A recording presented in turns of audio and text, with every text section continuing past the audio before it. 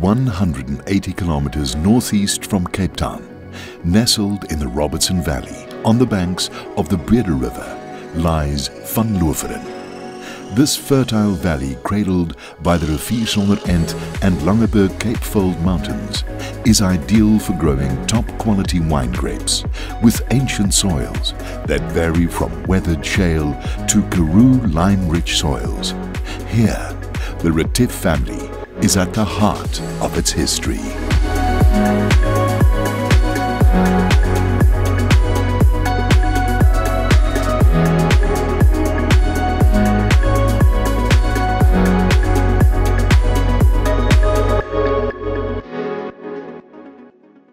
Very big hello and welcome to the Van Loveren, the next chapter coinciding with their 40 year brand celebrations. And of course, in line with the innovation that the brand is known for, we come to you virtually and live from our studio in Pretoria in South Africa. Now, over 200 trade partners and media are joining us from a number of countries, including from Russia, the United States, from Brazil, from China, Nigeria. We say welcome to all of those people. And of course, uh, we have people joining us from all corners of South Africa. Big welcome. So here with me are the men behind the Loveren brand themselves, Philip, Neil, Henny, and Basil Retief. Gentlemen, thank you so much for joining me. Uh, I'm going to come and chat with you in just a second, but a little bit of housekeeping first.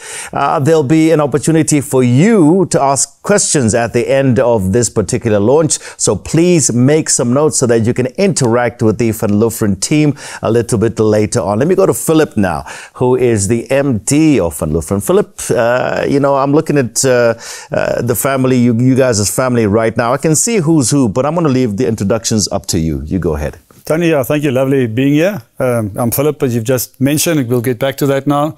Uh, next to me is my brother Neil. He's our production director, taking care of the viticulture side of things, and uh, he's good with people. I see one of his attributes is that he's very good with people. Henny, my cousin uh, next to him, uh, he's a, also a viticulturist and he takes care of a, another portion of, of the farming operations as a production director. And uh, he loves water and energy, so that would be his uh, speciality area. Uh, Basil is our cellar master, operations director. He's quick, he's, he's does very well on the operational side of yeah. things, he loves that. And uh, I would say he's the joker in, in the team, yeah. When you say it's quick, it's uh, decision making, operations, okay, actions. Uh, yeah, not not fast, not speedy. So, not, speedy. No, not speedy. No. Yeah, okay. He's, he looks the part though. He looks the part. Let's talk about the part of managing director, which is uh, uh what you are, Philip. Uh, you know, what are your responsibilities? Yeah, it's a long answer and a short answer. So it's, it's not a not a big one. It's not an important one, but uh, there is a role to play. Um, I think it's keeping the the team aligned. we've learned a lot over the last 12 months, say as as leaders. How do you adapt within the, the challenging environment that we've experienced? And uh, yeah, I think uh, keeping a calmness in the business was very important, is very important always. Uh, focusing on the future, future strategy. Uh, also, what, what the challenges throw at you and how you ad adapt within that. Mm-hmm. Uh, and I, I love the, the, the marketing and sales side of things as well as the, the financial side. So that would be my forte within the business. And uh, yeah, just encouraging and inspiring the, the larger team. That's fantastic. Now, when you look at uh, the stats worldwide, very few family businesses ever make it past the second generation. Philip, how have you guys managed to, to survive, basically? Tony, something we're very proud of. A lot of things we can be proud of, but uh, staying together as a family in a family business, and we are now the third generation. As you said, I think less than 16% of, of family businesses do pass past that, that generation. Uh, many reasons why we, we get it right. Uh, I think one is that we always speak about us, not about I or me. Um, so that's a very important point. Uh, and to a large extent, we were brought up like that. If you want to join the business, then that was going to be where you will fit in. It was not going to be a unique, uh, separate uh, mm. identity. All right, let me go to Usain Bolt in the far corner there. Uh, Basil, the, the, the, the, quick thinker. Uh, talk to him about that relationship. Do you guys ever fight? Do you ever squabble? And how do you resolve it if that ever happens? Tony, fortunately, we grew up next to each other on the farm. And um, we had our fights on the rugby field when we were small. Me and this one, my brother, we fought enough. We don't have to fight anymore as yeah. we grew up. So now, um, like Neil says, we're lovers, we're not fighters. Okay, Neil. So Neil, uh, you know, judging from Philip, he said you're the you're the people person. Are you are you the guy that kind of steps in and calms everybody down?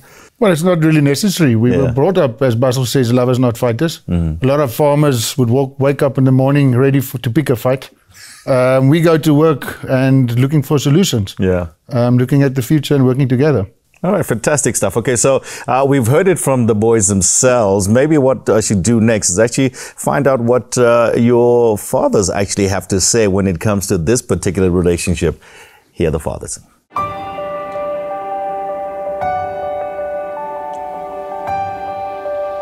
Ja, ik weet niet of het stout gaat. Het is maar, je hebt maar moeilijk gemaakt. En hij, was, uh, hij was maar levendig geweest. En uh, beetje te veel pak gekregen misschien. Basel was meer kalm. En uh, Neil weet ik was ook maar, hij heeft ook maar geraad. Want die slag toen ons om hier een aand opgepast had, heeft hij zo geschreven. Dat mijn vrouw hem zo beet gekregen en ze heeft hem zo geschud en gezegd, blijf stil. Toen zei ik, vrouw, als je mij kan zo schudden, dan gaat ons twee moeilijkheid hè. Ons van 'n trou afgekom want ek toe was Neil al in, in matriek geweest. Ons eh, ek kom ek en Penny kom die middag by die huis. Hier kom Neil met sy drie pelle agter op die bakkie aangejaag met iemand anders se bakkie en hulle sê ek sê wat's fout? Ek dink o, Here, ek hoop iemand verdrink het. Sê nee pa, jou bakkie is in die in die rivier. Toe hulle die boot aangehaak en hulle kon nie die boot lekker aanhaak nie. En hy Neil spring so uit uit om hulle te gaan help.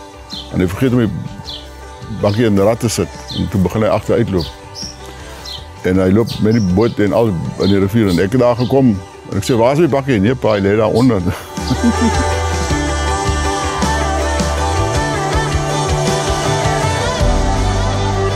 Ja, in zijn eigen job. Zo, uh, hulle het geen botsende belangen nie. Hulle, hulle, die een maakt wijn en die andere een kijkt naar die financiën en die andere een kijkt naar linkerkant te plaatsen en die het botsende.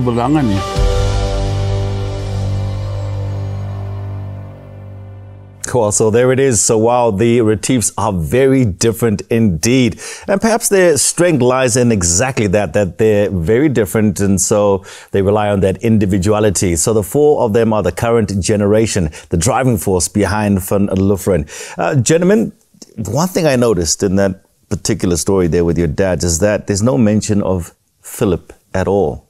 Were you a saint when you were growing up?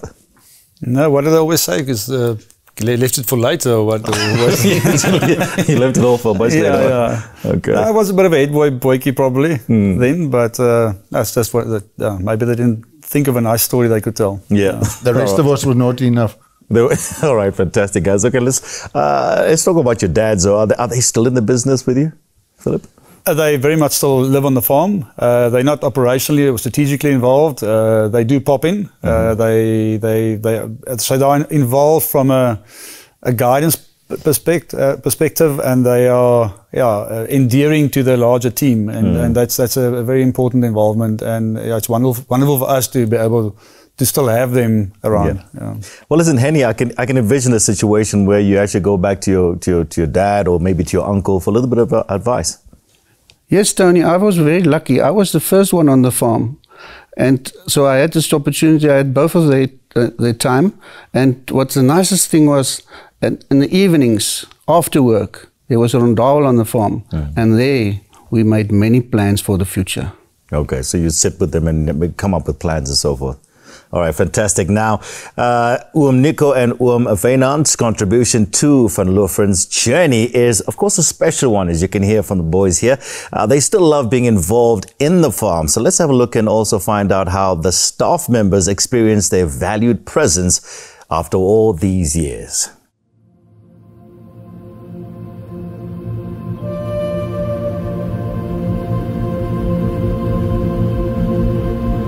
Ik ga al uh, die post nog. Het is niet meer bij je niet, want het is, die post raakt al minder.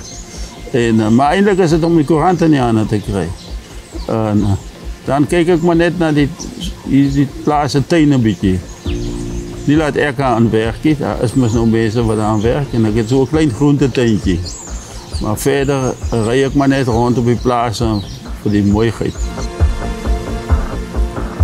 Ek is nog uh bietjie betrokke by die kelder. Ek kom in die week 'n paar keer uh, draai maak in die kelder, proe die jong wyne en help se nou dan met die blends ook optrek by.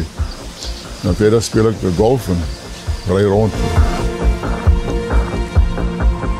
On Wynand, he's almost like our personal press cutting service. So on a Monday, I'd get into the office and there will lie a stack of papers, and whichever of our wines were advertised over the weekend or interesting articles that appeared would be waiting for me. Nico is een van ons gunsteling mense.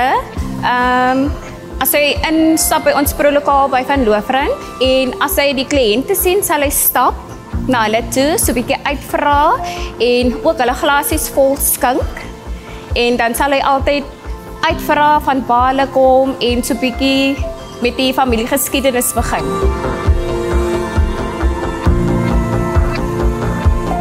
So dit is altyd lekker om Wynand in die kelder te sien. Hy's altyd gemaklik om te kom proe saam met jou en dit is baie lekker om hom hier in die kelder te saam met ons. Uncle Nico is for me like uh, Father Christmas. He likes to spoil us. Sometimes he bring us some cook sisters, some pies. He's just very generous and nice.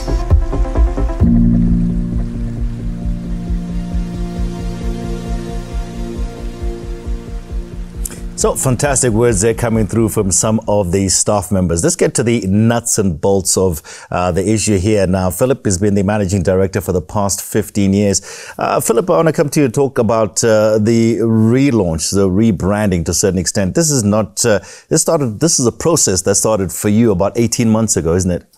Yes, Tony, it's a it's an important decision anytime that you do change your your packaging or your or your look and feel, if you can put it that way.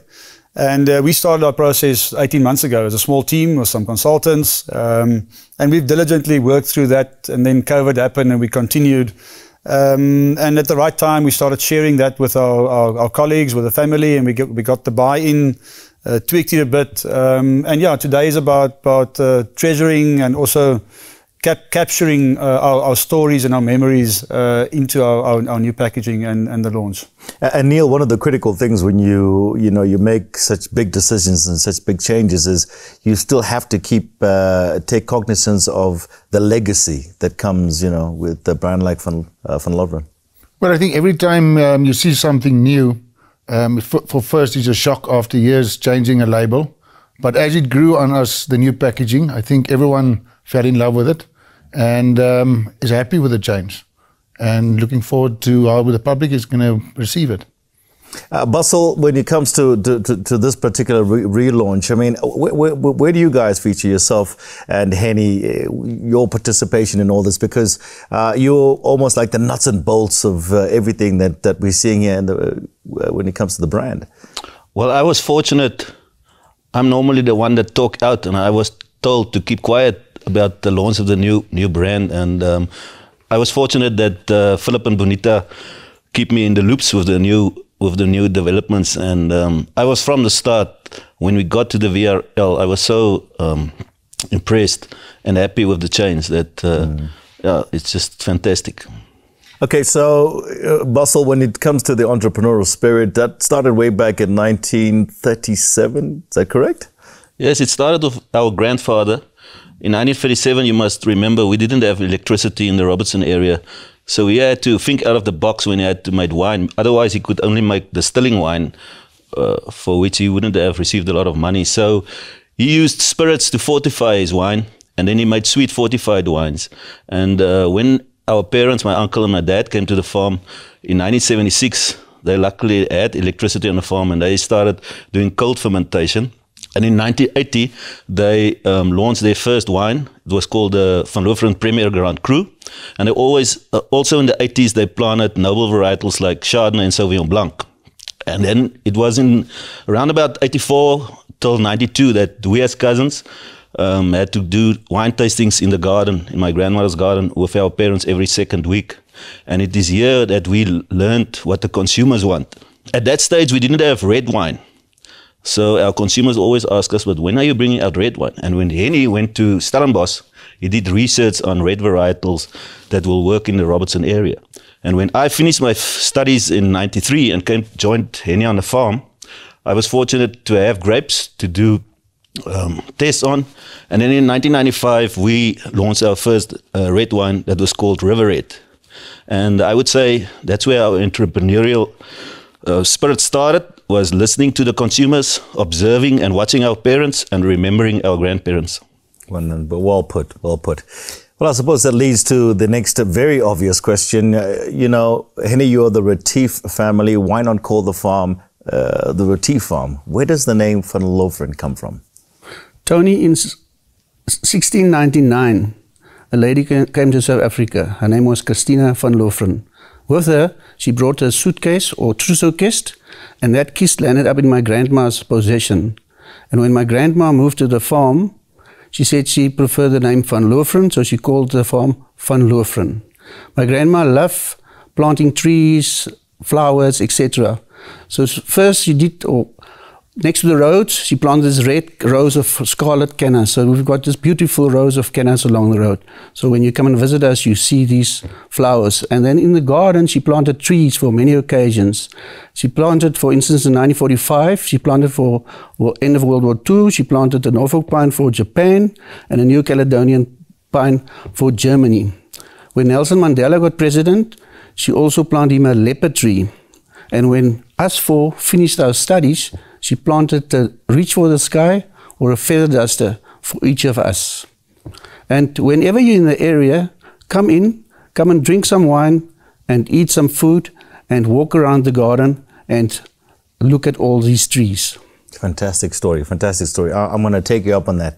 And can you also include a bit of wine tasting for me? Yes. Yes. Fantastic. Sure. that's a yes answer. That, that's, that's, a clear answer for many. Uh, so what we're witnessing is a golden thread that's run through Van Loveren's new vision for their brand. And that new vision is about to become a reality. From every row of vines planted, to every laugh shared around a table, and to every legacy left behind as a reminder of where we have come from. We love every story. We are deeply connected to our history, so it was only appropriate that the inspiration for our new direction would reveal itself in the stories found across the Van Loveren winery. The first clue to our new brand direction was hiding in plain sight an old cabinet held the original invitation to an important event in our brand history, the wedding of our grandparents, Henny Retief and Jean van Zyl.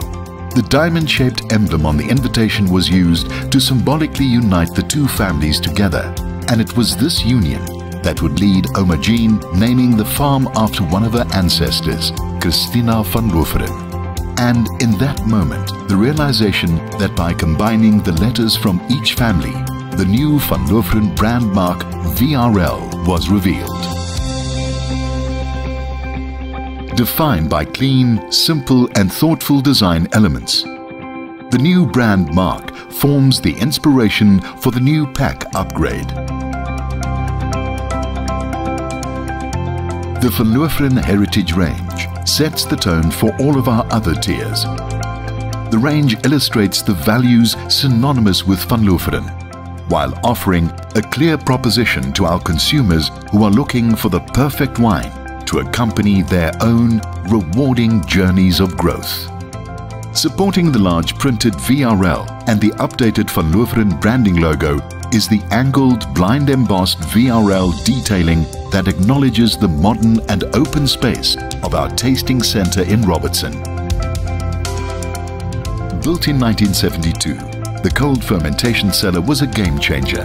The original signage on display and the vertical concrete inlay detailing on the cellar's facade is the inspiration for the typeface applied to note each Van Loveren wine's vintage and highest levels of quality.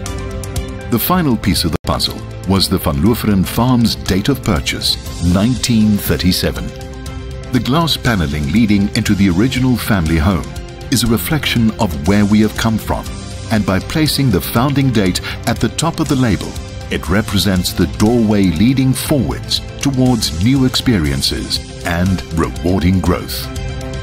Van Loveren, is more than just a brand. It is a group of passionate people that are collectively responsible for something special. It is in this honest simplicity of our Van Loveren range that we hope to share with you and our consumers the reward of growth.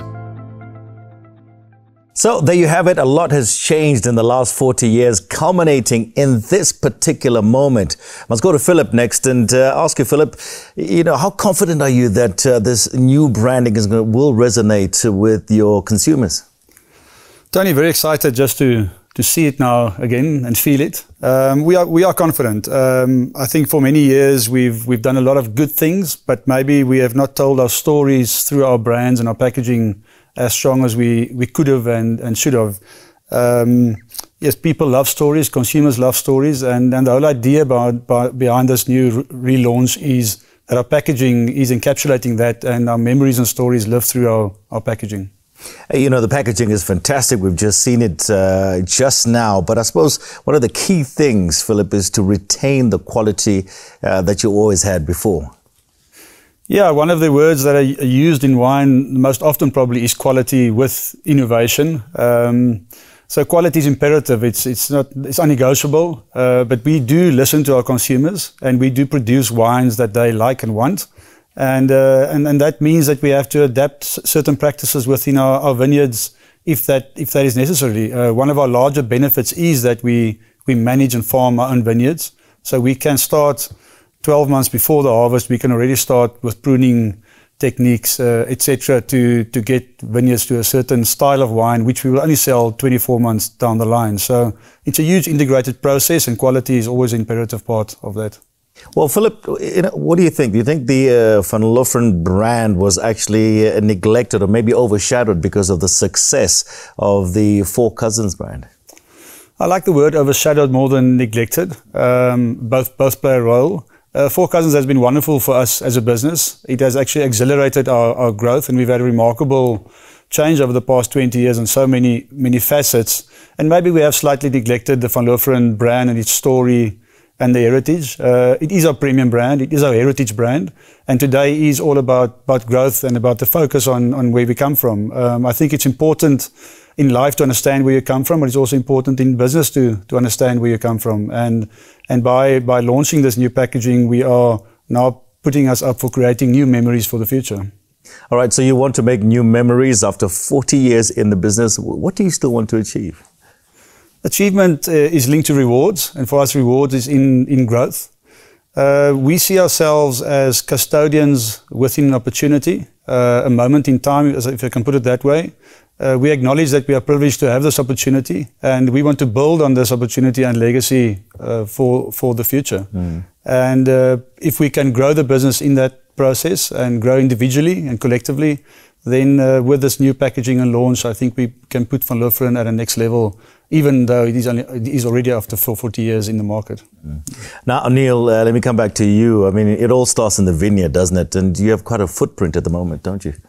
Yes, we do. And I think that was about 20, 2009, 2010. We made a decision to grow the business and to be able to do it um, in a very good way, um, to be in charge of your destiny. It all starts on, um, on the farm. So we were quite aggressive the last 10 years. And today we've got a footprint of farms uh, stretching over about 85 kilometers, um, which starts about 70, 80 kilometers from um, Cape Agulhas which gives us extreme big um, area between the Langeberg and the Rivier on the Endbergen, where we've got everything a winemaker and a farmer can dream of. Every type of soil, every type of um, terroir, um, every little niche um, we could dream of, um, we've got our hands on. And um, choices and decisions made to plant vineyards for the future is made um, collectively between the winemaking team and the production team on the soils and the type of um, terroir we've got um, to our capability. Now, Basil, obviously one size doesn't fit all, and there's more than just one farm, is there? More than just one vineyard? Yes, Tony, I've been fortunate the last 28 years to be on a planning committee with our viticulturists to decide which varietals we will plant at which site to make brand specific wines from. And what is unique about the vineyards at Van Loveren is that we as at our cellars we can keep each and every block separate up until the end when we bottle decide on bottling the wine. So Van Loveren should be every winemaker's dream because we've got so many terroirs to pick from and then to experiment at the cellars to make brand specific wines. Okay, fantastic. Uh, now, Neil, I know you've embarked on a major red wine project, which I'm very curious to find out about. And uh, what we did is that we sent Rochelle Liederman who to visit the farm Isabeau to to delve a little bit deeper into this particular project with Neil, as well as uh, Francois Viljoen, who's a viticulturist from Vinpro. So we're in the heart of the Robertson Valley on this beautiful Isabeau farm. How did this red wine project come about and why? About three years ago, on a Van Loveren management meeting, um, the decision was made that we must try and increase the quality of all the Van Loveren red wines in the whole range. The family decided to go and look for a specific red wine farm in, in the country. We went around and started in Malmesbury, Darling Oh. and Stellenbosch. And on our way back, we realized that we are looking on the wrong place Sure. because there's one of the most special places in the country for sale, Isabeau in the De Valley. So we came back and decided to continue in Robertson. So what technologies are being implemented to develop the farm? Well, the first one we used, which for me was very interesting, was drone technology that gives you a terroir analysis of the whole farm. Wow. It gives you the different slopes, the different angles, the sunlight uh, radiation, which basically means how many sunlight each different soil type would get through the day.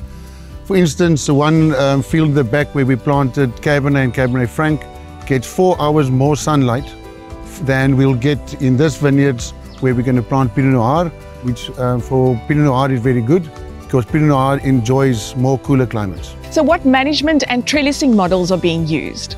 Well, first of all, we planted 37 hectares of pure old Cell in 2020, and we are very excited. The field behind us is going to be vine by post, which is not done very uh, often in South Africa. It's a very expensive um, method that increases quality because it's got a 360 um, sunlight every day. Wow. And It's known for basically the best quality grapes. So Francois, what excites you about this project? Actually, a lot excites me about this red wine project of Van Loveren. What we've already achieved over the last two years um, is amazing. There are actually two legs, two parts of it. Um, there are short-term objectives. We, we uh, want to improve the quality of the existing red wine blocks by doing some adjustments in these blocks. To name a few, uh, the winter pruning, irrigation management practices, crop control, as well as some canopy management practices to enhance the quality of the existing vineyards. The second part of the, the project is more the long term.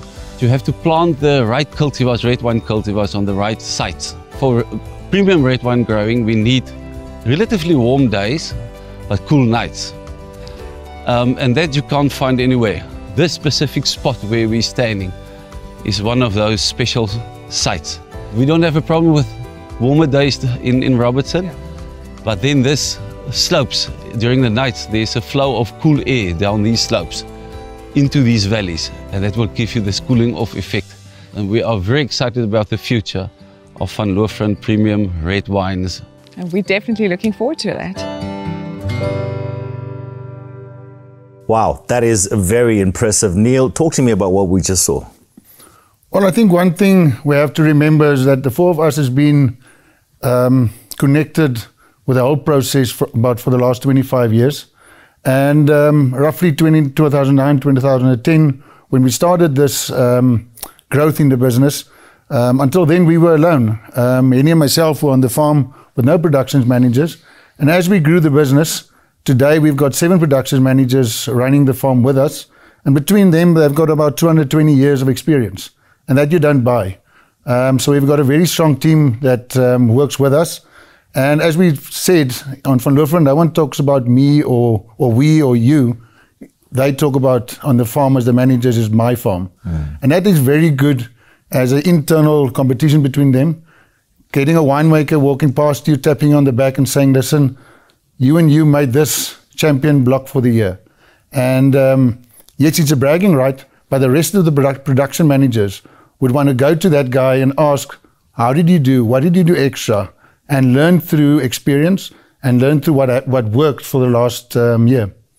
Wow. Uh, now, Basil, talk to me about the actual winemakers themselves. I mean, what makes your winemakers unique? Talk to me about your team. Tony, we've got four winemakers at the moment. If you count me in, it's five.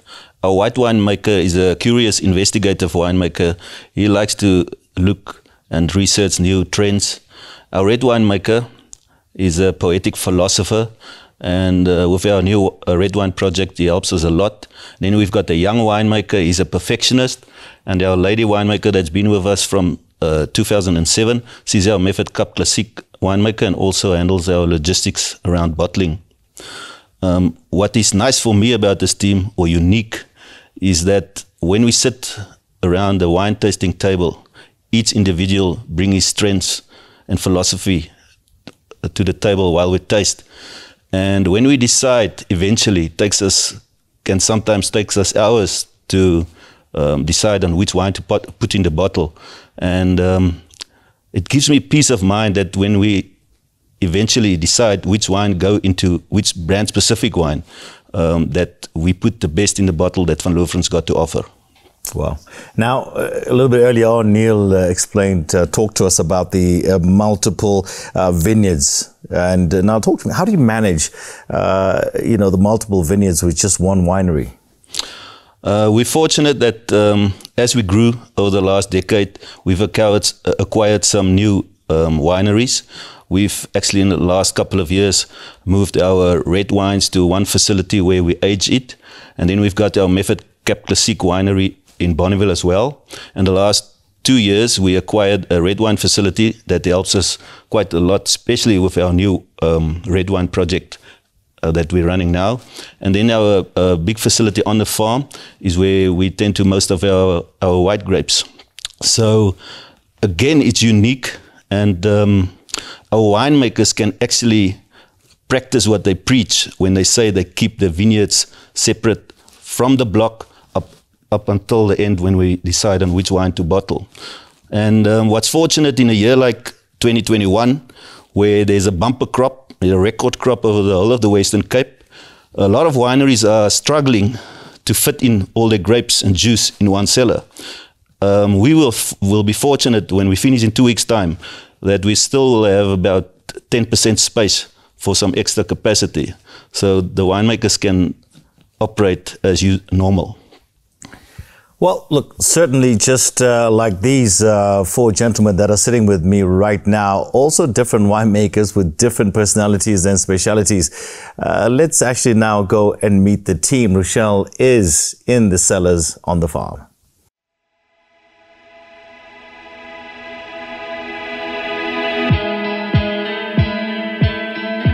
Chris, in short, how would you describe the Van Loveren winemaking philosophy? For us as Van, Van Loveren, every, everything starts in the vineyards. Uh, the goal is to capture the vintage of every cultivar that we harvest. And with 10,000 hectares of vines and coming from different vineyard sites and different terroirs, we are able to produce excellent quality wines. Jacques, your individual style, how does that fit into the Van Loveren winemaking philosophy? So Rochelle, definitely something that Van Loveren in, encourage is uh, individual style. And as a winemaker, you need to, to, to say what you see, and that is what I see in Van Loveren also in the philosophy is really uh, put some skin in the game and uh, by the end of the evening, yeah, you, you're a bit sticky and a bit juicy, but I mean, you can wash that off and uh, enjoy it with another glass of wine. Chris, what is the advantages, especially having such a large and diverse winemaking team? Yes, we are four winemakers, each with our own unique set of skills. And um, if we know the target or the goal that we are working towards, everybody adds in their own unique way. And we are adaptable to, to changes, changes in the wine industry, changes in wine styles, and also changes from our consumers. Jacques, what is the interaction between the winemaking teams and the vineyards? So we as winemakers and the vineyard team needs to understand, you know, what a certain terroir can can give us. Already starts in, in winter. Make sure that it's pruned to, you know, our our goal. uh, growing season, you know, two weekly visits by the winemaking team with, with the vineyard uh, managers. Closer to harvest, you know, it's weekly. Uh, week, weekly visits, making sure that we, we harvest at the right time. And where does the consumer fit into this? We as winemakers, you know, we, we like the vineyards, we like the cellar. We get the opportunity to, to go and present tastings, but with what's going on currently with COVID, you know, that's been lacking. So we rely on the marketing and sales team to bring that information to the table. You need to stay relevant to your market. You need to show your market that you are willing to uh, venture into new directions, bring something new to the table. Fashion changes uh, every every now and again. Um, it's the opportunity to show yourself in a new way, communicate again your, your values and what is important for you. Um, and I think it's the perfect opportunity for Van Loveren to, to show that um, with, with this new branding.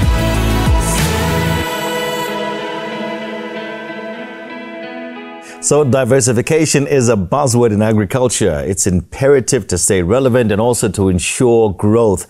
Now, the question is how do you innovate within this environment, Philip? Tony, yeah, we are entrepreneurs by heart, uh, but we also look for opportunities within the current business environment. And we were the first 21 years ago to launch a commercial product in a Magnum 1.5 litre bottle, which was Four Cousins. Um, We've discussed it. It has worked brilliantly. Uh, we launched a product Tangle Tree range about 10 years ago in a plastic bottle, polyester, recyclable plastic bottle. Um, it's still the only one that's on the mark and viable. Um, so I think that's great innovation, also from a green point of view. Uh, we've been speaking about premium box, two liter and three liter box at a premium price point for many years. So we knew it was coming. Uh, it's happening as we speak. And uh, and then two years ago we we launched uh, almost zero and a, and a product uh, absolute zero, which is our de-alcoholized wine, which is has been a very exciting, mm. in, innovative um, contributor to our business. Uh, let me go to the winemaker himself. And Basil, what was your initial thought about uh, almost zero? Tony, initially it was a almost a shock to us, but um, expecting anything from our marketing people, uh, we just we just did it. And um, later, after we got emails and letters from happy consumers, uh, we realized how many people are actually in South Africa that are alcohol intolerant. And um, since then, it also helped us through the prohibition period during COVID financially. Mm. And uh, since then, we brought out a new brand called Absolute Zero. That's a sparkling wine, which is now my preferred non-alcoholic drink. Okay, I'll try it one day. All right, let's. I want. I to go back to the subject of diversification, guys. And uh, Henny, let me come to you on this one because you are known, you know, for growing grapes. You're known for making wine, but now you've started, uh, you know, diversifying into other agricultural products. Why? Tony, as you've heard in the Van Loveren stable, we've got many different kind of wines. So now we're gonna start diversify into fruit trees. We've planted cherry trees, soft citrus, almonds, and avocado pears. Well, there it is. That's the reason for that diversification. And it all goes far beyond the farm gate. And there's a lot of value to be added in that chain.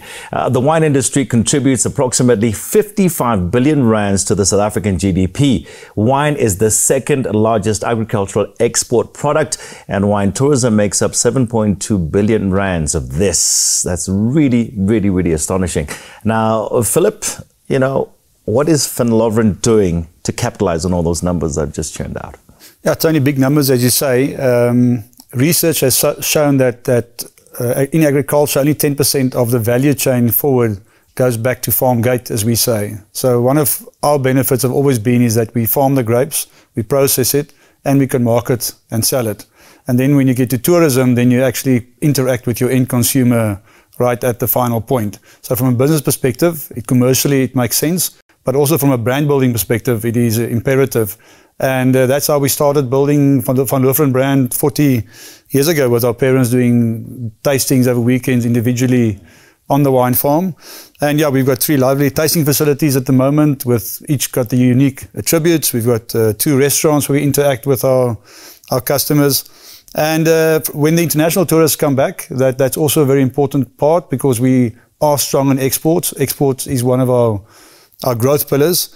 And when you can sell your product on the local market to a, foreign visitor, hopefully there will be interaction, when they move back uh, to their countries. Uh, yeah, we export to 62 countries, which is quite unique and diverse. Uh, Africa, Asia, Europe, and Americas. Uh, the consumers differ, so it's not selling the same product to all of them, although it would be ideal from a winemaking and a logistical perspective. Uh, but yes, that is one of our, future growth uh, pillars. Uh, do you find the growth and the, demand of wine in Africa is, is, is growing? Is there more demand of becoming a, a wine consuming continent? Yes, there is. Africa has always consumed wine. Uh, historically, uh, French wine and Portuguese wine because of the old uh, relationships that there was. Uh, but South Africa is closer. So from a, a, geographical point of view, it makes, makes sense that, that we own Africa.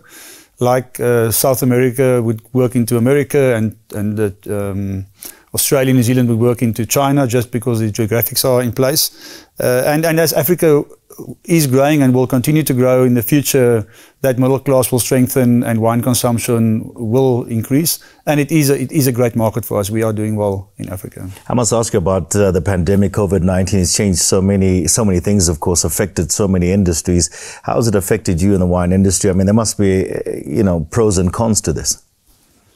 Yeah, it's been catastrophic for, for some businesses. Uh, the fact that we have brands are definitely going to work in our favor. Uh, we have got a, a, a, route to market. We do have a channel in which we can sell.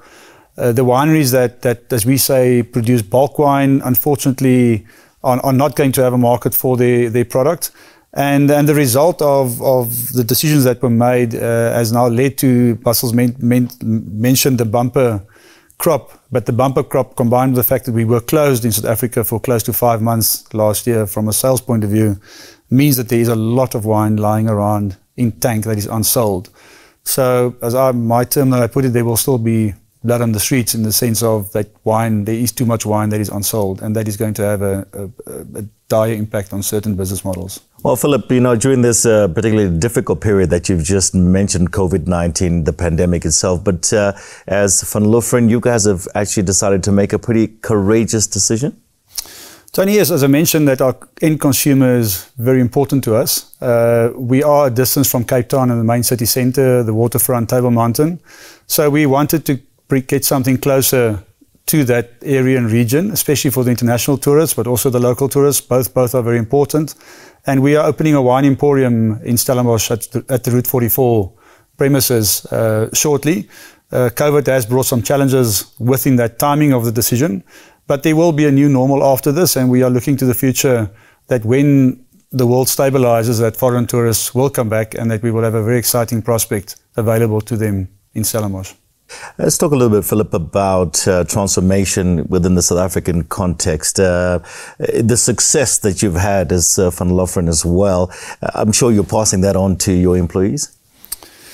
Yes, we have. It's something that we are extremely proud of. Uh, I think we were, again, entrepreneurial in that spirit. Uh, transformation is also one of our, our growth pillars, and we believe that through transformation we can continue to grow. And if you think of the, the year I'm going to mention to you now, it was in 2004 when we started our first project. So, project. so that was 17 years ago and literally way before the curve almost, if I can put it that way, where we decided to positively engage, uh, positively um, initiate and, and develop product, projects which we are very proud of today projects which are successful, and we've ex expanded that over the last four or five years to a second and third project. And we've included our, our, our loyal employees that have been with us for generations. Uh, yeah, it, it's, it's, different, unique models, and um, it's something that we are very excited about, very proud of. You have to understand that it's always within normal business realities, but you do create a positive discourse, you do create a lot of pride and a lot of trust, and, and, and uh, yeah, it just it just brings the, the, the whole business closer together.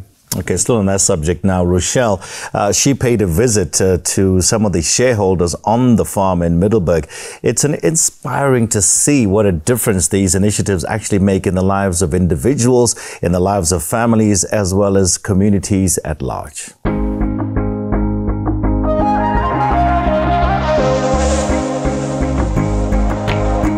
Christian, jy's 'n trotse aandeelhouer by De Geria in Middelburg. Vertel ons oor jou betrokkeheid oor die afgelope paar jaar en tot dusver. In 2005 uh het die Retief Neefs van Loberen begin met die projek uh op De Geria waar al ons werkers betrokke gemaak het uh om 'n aandeel te hê in De Geria. 2010 is Middelburg gekoop waar ons 2020 begin boer het uh waarvan ek self uh, uh, aandeelhouer is op uh, Middelburg. Christian, wat beteken dit vir jou om 'n aandeelhouer te wees? Eerstens uh maak dit jou baie trots. Ek dink van 'n agterstand af dat jy glad niks gehad het nie en jy word bevoordeel om 'n aandeel te hê in grond of in 'n maatskappy. En aan die einde van die dag uh is dit maak nie net trots nie, maar jy word eintlik finansiëel bevoordeel wanneer daar 'n dividend aan die einde van die dag aan jou uit, uitgekeer word. Wat hoop jy om eendag na te laat vir jou kinders? Omdat ek 'n aandeelhouer is, is my hoop o, dat hulle ook aan die aan die einde van die dag uh hierdie aandeel kan gebruik vir onsself en nie net uh die geld daarvan te sien nie, maar dat dit uh 'n toekomstige uh ding sal wees wat ook môre vir hulle daar kan wees. Livingston, with so many failed transformation initiatives, why do you think there's so much success with De Geria, Olijfberg, and now Middelburg as well? It's clear that there's a golden thread that runs through all these three projects. It's based on key business principles. Um, one being due diligence um, that was put after this into this business plan with realistic for production forecast, um, financial for forecast, risk mitigation um, in terms of diversification. Secondly, um, the whole issue around the long-term commitments, where we would not prematurely extract value out of it too early, but rather ensure sustainability that, that, that will create significant equity for the, for the, for the businesses um, to then uh, maximize future value. And then thirdly, the, the issue around relationships. It's built on trust. If that relationship is there, um, then, then I think it's easier for all the stakeholders to, to embark on the future. Going with that is the, is, is the contentious issue about mentorship. We are fortunate to, to capitalize on existing expertise um, and capability within the Van Loverens business, for example, who are one of the stakeholders. Um, that helps a lot. Jakob, wat beteken dit vir jou om 'n aandeelhouer te wees? Vir my by Middelburg is dit uh, iets goed vir my familie vir langtermyn en ek het twee pragtige dogters, so hulle sal eendag kan gaan studeer en dit is 'n baie voordelige projek vir die aandeelhouers wat betrokke is by Middelburg.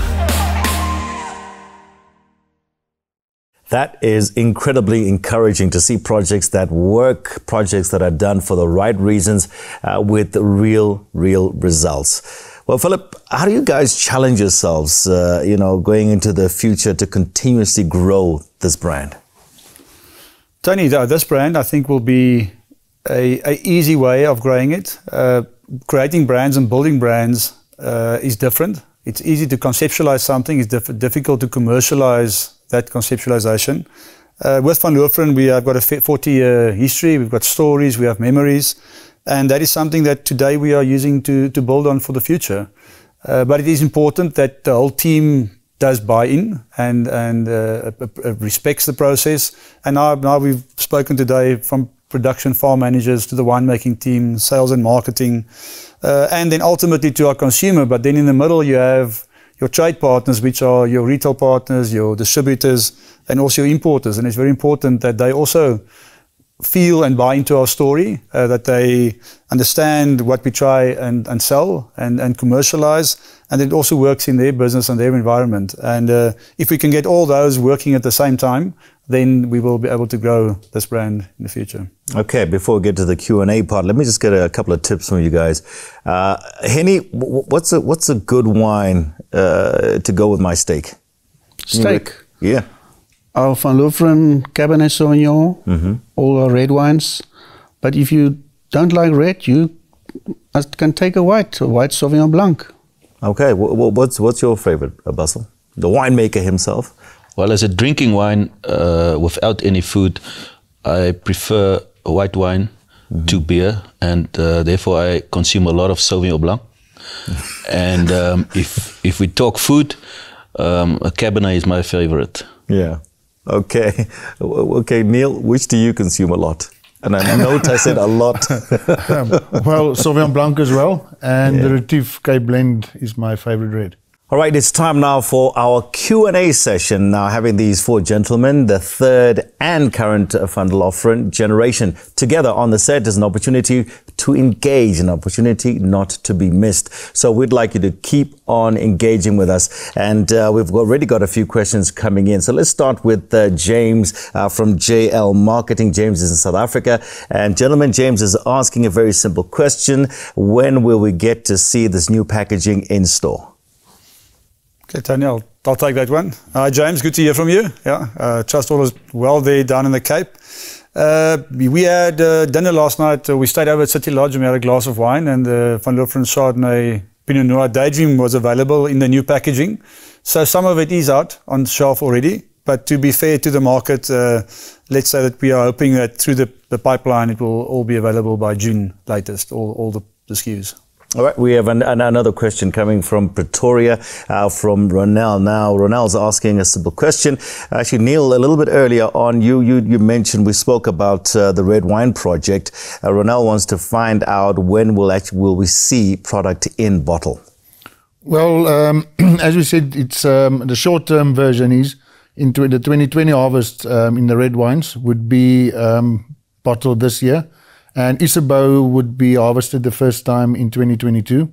So, reckon 2023 the Isabeau product will be in the bottle, but um, the red wine project is running continuously. Okay.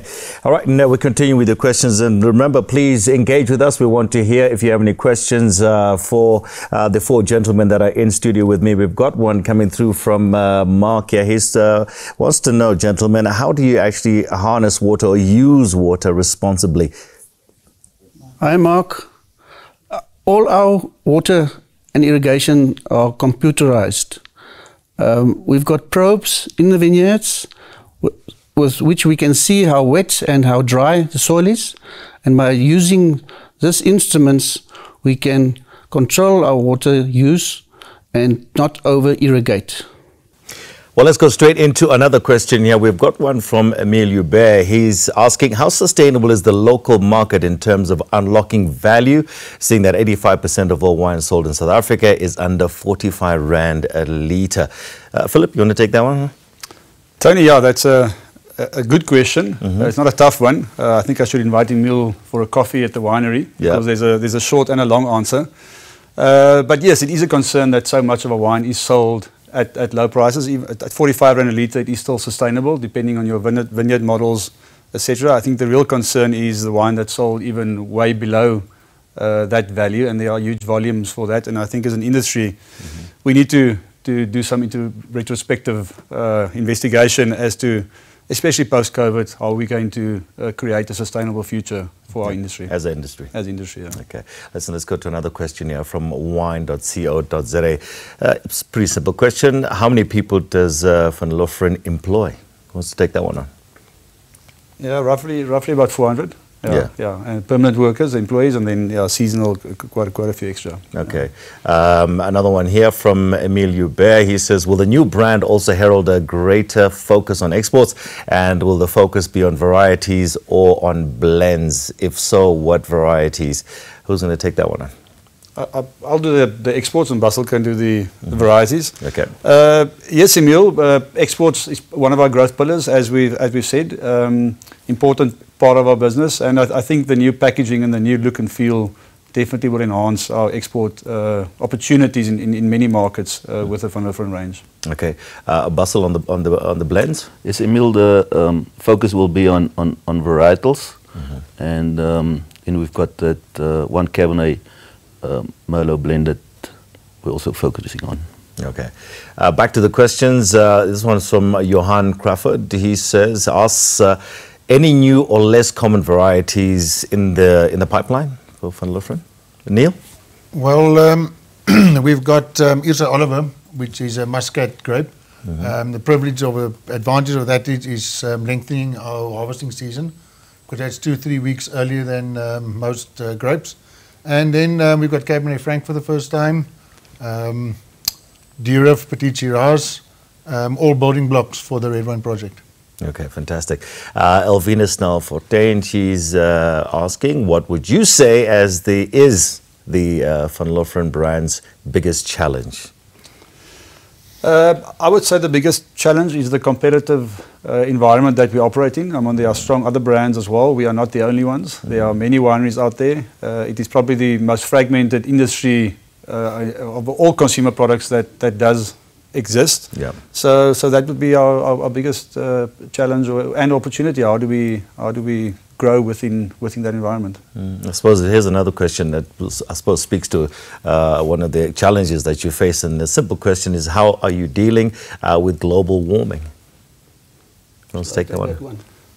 I'll, I'll, take that one. Okay. Mm. Um, we've got uh, on the cellar roofs, we've got 202 kilowatts of uh, solar panels that supplies about 20% of the electricity in the cellar. Then we also harvest half our crop during the night. So our juice comes in cold, so we also need less energy to cool down the juice. Um, our pumps or irrigation are all uh, computerized with probes in the land, so we can uh, so we don't over irrigate. We don't use uh, too much um, electricity. Mm -hmm. And another one is our Tangle Tree bottle, a PET bottle, that uh, it's a low carbon footprint. So mm. that's, that's four things. Okay. Uh, last question here coming from uh, Graham. How he says, um, which red and white varieties are your signature ones in flagship wine? Uh, will these heroes change with the new branding, um, gentlemen? Well, uh, Graham, I'll, I'll, ask that one, Tony. Mm -hmm. um, will these heroes change? No, because we've, we've, we listen to our consumers and we've got a, huge following on certain of our brand uh, varietals as well. For instance, our Java Pinotage, we've got a huge following in South Africa and for me to go and tweak that wine now uh, is not going to happen. Mm. Although the label changed, the quality of that wine won't change. And then um, mm -hmm. on the uh, white varieties, our strong brand will still be the Sauvignon Blanc, and on the red it will be the Cabernet Sauvignon. All right. Okay, thank you so much uh, to everybody for uh, those questions. Uh, but uh, still stay with us. I just want to get a, closing comments from the gentleman here. Uh, starting with you, Philip. What does the future hold? Tony, um, yeah, we are South Africans. We are vested in South Africa. Uh, we are going to stay here.